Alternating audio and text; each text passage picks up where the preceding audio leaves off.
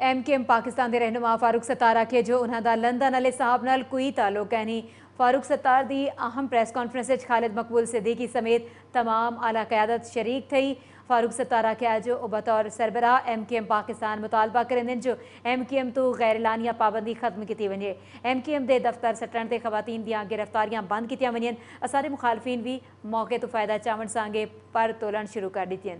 فاروق ستار دی اہم press conference M Q M Pakistan دی تمام اعلیٰ قیادت شریک۔ فاروق ستار زور دے تے آکھیا جو لندن علی صاحب کو چھوڑ چکے ہیں این گال کو ہن سمجھ گدا بنے۔ فاروق ستار دا کھنا جو لگ دے ترے یا چار ایم کے ایم بڑھاون دیاں تیاریاں تھینیاں پن وزیر اعظم نواز شریف تشویش دا نوٹس گھنن فاروق ستار ایم کے ایم سربراہ دے طور تے پارٹی کو مکمل سیاسی آزادی ریون دا مطالبہ بھی کر دیتا انہاں دا دعویٰ ہا جو نائن زیرو کو غیر آئینی طور تے سیل کیتا گیا انہاں کیا جو ایم کے ایم دے دفاتر سٹن تے خواتین دیاں گرفتاریاں بند کیتیاں ونین فاروق ستار دا موقف ہا جو تشدد تے